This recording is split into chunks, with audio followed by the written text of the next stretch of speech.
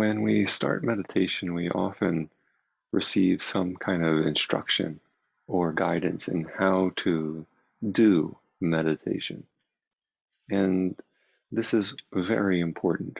We shouldn't ignore the instructions for meditation. I highly recommend sutras like the Sutra on Mindful Breathing that gives step by step instruction on how to practice meditation, what to do with your mind, where to place your mind.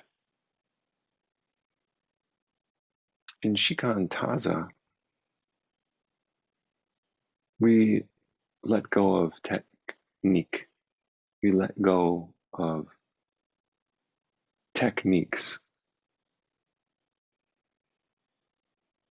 There's not a thing that we should do with our mind.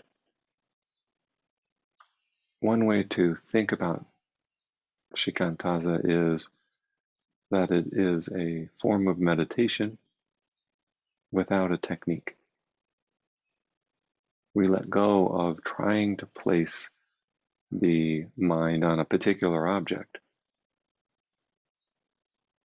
and see what happens when you do that. See what happens when you let go of trying to force your mind to be on a particular object. Right. Thank you.